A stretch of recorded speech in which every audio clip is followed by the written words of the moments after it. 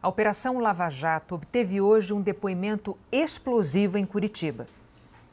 Renato Duque trabalhou por mais de 30 anos na Petrobras e ocupou a diretoria de Engenharia e Serviços entre 2003 e 2012. Dentro e fora da empresa, era tido como indicação do então ministro José Dirceu. Os dois sempre negaram essa relação. Duque foi preso pela primeira vez em novembro de 2014, na sétima fase da Operação Lava Jato, e solto 19 dias depois por um habeas corpus do ministro Teori Zavascki, do Supremo Tribunal Federal. Em março de 2015, a segunda prisão na décima fase da operação. De acordo com o Ministério Público Federal, ele tinha 20 milhões de euros em contas no Principado de Mônaco e fez várias transferências consideradas crimes de lavagem de dinheiro. Na casa de Renato Duque, na zona oeste do Rio, a Polícia Federal apreendeu mais de 100 obras de arte. Os policiais também encontraram uma sala secreta atrás de um armário com documentos e joias. O ex-diretor de serviços já foi condenado em quatro processos da Lava Jato por corrupção e lavagem de dinheiro. As penas somam mais de 57 anos de prisão. Ele é réu em outros seis processos na Justiça Federal do Paraná, também por corrupção e lavagem de dinheiro. Em todas as vezes que foi interrogado, Renato Duque preferiu ficar calado. Há alguns meses tentou um acordo de delação premiada, mas não teve sucesso. Mas Duque mudou de ideia. Foi ele mesmo que pediu para depor ao juiz Sérgio Moro. E neste depoimento de hoje, Duque acusou o ex-presidente Lula de controlar todo o esquema de desvio de dinheiro da Petrobras para o Partido dos Trabalhadores. No início do depoimento, Renato Duque disse que a propina paga por empresas já existia quando ele assumiu a diretoria de serviços da Petrobras em 2003 e que todos do PT sabiam da existência do esquema. Quando existia um contrato, seja ele qual fosse o, o contrato, que corria numa licitação normal, ou o partido, o tesoureiro do partido, normalmente procurava a empresa pedindo contribuição. Uhum. E a empresa normalmente dava, porque era uma coisa institucionalizada já na companhia. Isso. O Paulo Roberto cuidava da, da área do PP, uhum. Partido Progressista. A área do PT, é eu que cuidava. Mas o senhor não conversou com ninguém a respeito desses, dessas não, Todos sabiam. Todos quem? Todos do partido desde o presidente do, do partido, tesoureiro, secretário, deputados, senadores, todos sabiam que isso ocorria. Uhum. Isso foi desde o seu ingresso, desde o início do seu. Desde que o senhor assumiu esse cargo, já, já havia essa situação? Já havia essa situação. E permaneceu em... até a sua saída? Permaneceu até a minha saída. Quem que era responsável por arrecadar esses recursos uh, para o Partido dos Trabalhadores junto às empresas? Eram os tesoureiros né, inicialmente o Delúbio, depois o Paulo Ferreira e posteriormente o Vacari. O senhor tratou com algum deles a respeito desse assunto? Tratei com os três. Em seguida, Duque explicou a divisão do dinheiro desviado da Petrobras para corruptos da própria empresa e para o PT. E falou sobre os milhões que juntou para ele próprio no esquema de corrupção com a participação do ex-gerente da área de serviço e também delator Pedro Barusco. Esse 1%, o que o Barusco chamava de casa, ficava com metade, é, 0,5%, e a, o resto iria, ia para o partido. Mas isso era uma referência, nem todos os contratos é, se praticava esse percentual. E se alguém também se recusasse a pagar, não tinha nada de. não, não existia nenhuma penalidade. O Barusco disse que eu era preguiçoso em relação a, esse, a, a, ao trato com o dinheiro. Não é questão de, de preguiça. É que realmente, o, quando atingiu, principalmente quando atingiu um determinado valor, aquilo para mim era mais do que suficiente. Quando atingiu 10 milhões de dólares, eu falei, poxa, é muito mais do que eu preciso para viver em minha terceira geração. Renato Duque também contou que foi o então presidente Lula quem indicou João Vacari para cuidar da arrecadação de propina de fornecedores da Petrobras para o PT. Segundo Duque, quem lhe contou sobre a decisão de Lula foi o então ministro do Planejamento, Paulo Bernardo. Eu conheci o Vacari em 2007. É. Ele ainda não era tesoureiro e ele começou a atuar na arrecadação. Quer dizer, ficou uma coisa à parte. Sei. E por quê? Tu vai me explicar? Porque, porque nessa época tinha outro. Porque o, então o presidente Lula determinou isso. Eu fui chamado a Brasília e essa pessoa falou assim: olha, você vai conhecer uma pessoa indicada pelo. Ele fazia esse movimento, não citava o nome. É, o, Lula tinha, presidente Lula, ele era conhecido como chefe, era chamado como chefe, grande chefe, Nine, ou esse movimento com, com a mão. Hum. Então, ó, você vai receber uma pessoa que está sendo indicada e ele vai conversar com você. Ele vai ser agora quem vai atuar junto às empresas que trabalham com a Petrobras. Paulo Bernardo chegou, falou que o, a partir de agora você vai ter contato com uma pessoa chamada Vacari, João Vacari, vai te procurar e ele vai fazer os contatos com as empresas. Eu não entendi nesse relato que o senhor fez, agora o que, que o presidente Lula tinha a ver com isso? Que foi, o, segundo Paulo Bernardo, o Lula que tinha determinado isso. Ah, o, o Paulo Bernardo que afirmou o senhor? Sim, senhor.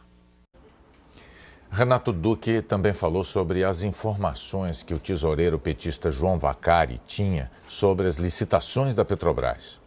Mas o Vacari tinha uma capacidade tão grande de, de interlocução, chama assim, que às vezes ele sabia muito mais de resultado de, de licitações do que eu mesmo. Né? Eu não, eu não precisava passar informações para o Vacari procurar as empresas, como muita gente pensa.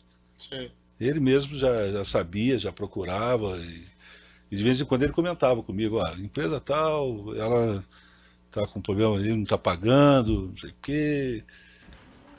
Segundo Renato Duque, o dinheiro da propina da Sete Brasil teria abastecido contas do PT, de José Dirceu e de Lula. E o então ministro Antônio Palocci teria gerenciado os valores desviados para o presidente.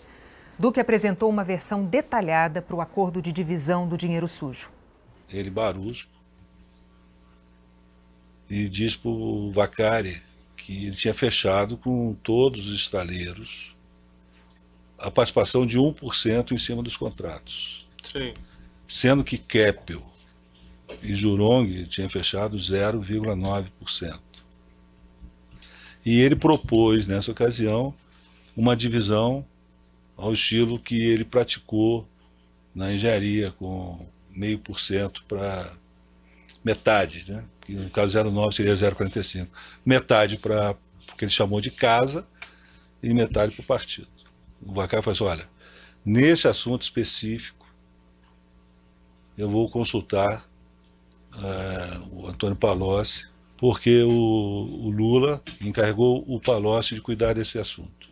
Aí o Vacari vai, faz, tem essa conversa, retorna e diz, olha, a posição não é de meia-meia, a posição é de um terço, dois terços.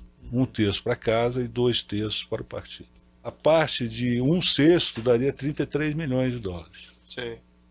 Então, se multiplicar isso por seis, vai dar quase 200 milhões os dois terços do, do partido político, é, Vacari me informou que iriam para o Partido dos Trabalhadores, para José Disseu e para Lula. Sendo que a parte do Lula seria, é, é, seria gerenciada por, por Palocci.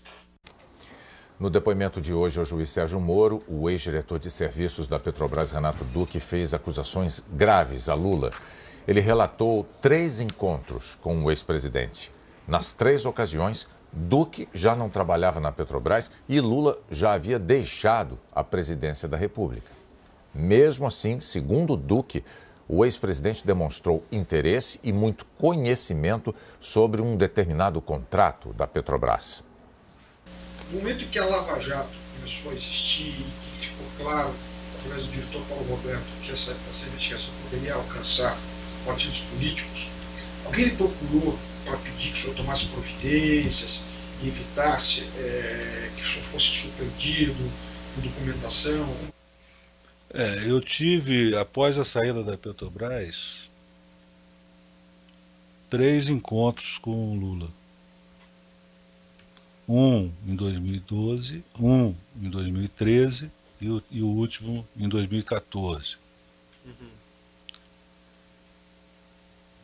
Nesse encontro de 2012, para mim ficou muito evidente, é, fiquei surpreendido com o conhecimento que ele tinha sobre esse projeto de sondas. Ele começou a fazer algumas perguntas sobre a questão das sondas. Uma delas, por exemplo, é porque não tinha sido assinado o contrato ainda, já que tinha sido aprovado lá em abril. Falei, presidente, ele sabia que não tinha sido, estou fora da empresa, não sei, não, não sei responder. Então, eu fiquei surpreendido porque naquela hora eu, o presidente Lula, né, Lula e Vacari, ficou claro para mim que o nível de informação, ele conhecia tudo. E falando esse tipo de coisa na frente do Vacari. E na minha frente,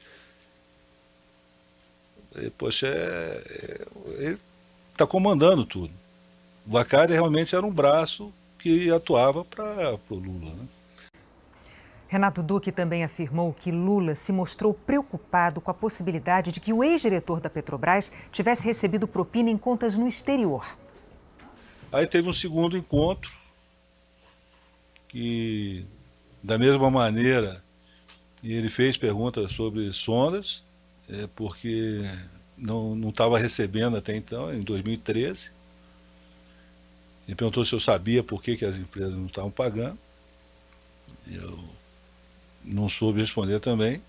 E por fim, no último encontro, em 2013, em 2014, já com a, com a Lava Jato em andamento, e ele me pergunta se eu tinha uma conta na Suíça com recebimentos da empresa SBM, dizendo que a então presidente Dilma tinha recebido a informação que um ex-diretor da Petrobras teria recebido dinheiro numa conta da Suíça, da SBM. Uhum. Eu falei, não, não tenho dinheiro da, da SBM nenhum, nunca recebi dinheiro da SBM. Ele falou assim, olha, presta atenção no que eu vou te dizer. Se tiver alguma coisa, não pode ter, entendeu? Não pode ter nada no teu nome, entendeu? Eu entendi. Mas o que, que eu ia fazer? Eu não tinha mais o que fazer. Aí ele foi, falou que ia conversar com a Dilma, que ela estava preocupada com esse assunto e queria tranquilizá-la. Mas nessas três vezes, é, ficou claro, muito claro para mim, que ele tinha pleno conhecimento de tudo e, e tinha, detinha o comando. O Instituto Lula divulgou uma nota em que declara que o depoimento do ex-diretor da Petrobras é mais uma tentativa de fabricar acusações ao ex-presidente nas negociações entre os procuradores da Lava Jato e réus condenados em troca de redução de pena. A nota não responde às acusações feitas por Duque. O Instituto declarou ainda que esses réus não conseguiram produzir nenhuma prova daquilo que classificou como denúncias levianas contra o ex-presidente, depois de dois anos de investigações, de quebra de sigilos e de violação de telefonemas. O Instituto acrescentou que restou aos acusadores de Lula apelar para a fabricação de depoimentos mentirosos. Na nota, o Instituto Lula também declarou que os três depoentes ouvidos ontem e hoje nunca haviam mencionado o ex-presidente ao longo do processo, que são pessoas condenadas a apenas de mais de 20 anos de prisão e que estão objetivamente coagidas a negociar benefícios penais. Os advogados do ex-presidente também divulgaram nota. Eles afirmaram que os três depoentes ouvidos ontem e hoje citam Lula, falam de encontros e de conversas com ele, mas não trazem qualquer prova. Segundo os advogados, quando Renato Duque disse que Lula tinha conhecimento e comando de tudo, estava tentando confirmar falaciosa tese de procuradores e repetiram que depoimentos não substituem provas. Ainda segundo a defesa de Lula, nenhum ato ilegal contra o ex-presidente foi identificado, mesmo depois de ele ter sofrido uma devassa com quebra de sigilos bancário, fiscal e telefônico, além de buscas e apreensões em sua casa e de seus familiares. Por fim, a defesa disse que acha estranho que nos últimos dias, depois de o depoimento do ex-presidente ter sido adiado, Três pessoas que tentam fazer delações para reduzir suas penas tenham resolvido falar. A defesa do ex-ministro Paulo Bernardo disse que as declarações de Duque são mentirosas e que o ex-ministro nunca se encontrou com Duque para tratar de qualquer assunto relacionado à Petrobras. A defesa do ex-ministro Antônio Palocci disse que o depoimento de Duque é uma tentativa desesperada para tentar minimizar a condenação dele. A ex-presidente Dilma Rousseff e a defesa do ex-ministro José Dirceu não quiseram se manifestar. A defesa do ex-tesoureiro do PT, João Vacari, disse que as declarações de Renato Duque não são verdadeiras e devem ser recebidas com desconfiança porque vêm de alguém que está tentando fechar acordo de delação premiada. A empresa SBM não quis se manifestar. Nós não conseguimos contato com as defesas de Delúbio Soares e Paulo Ferreira.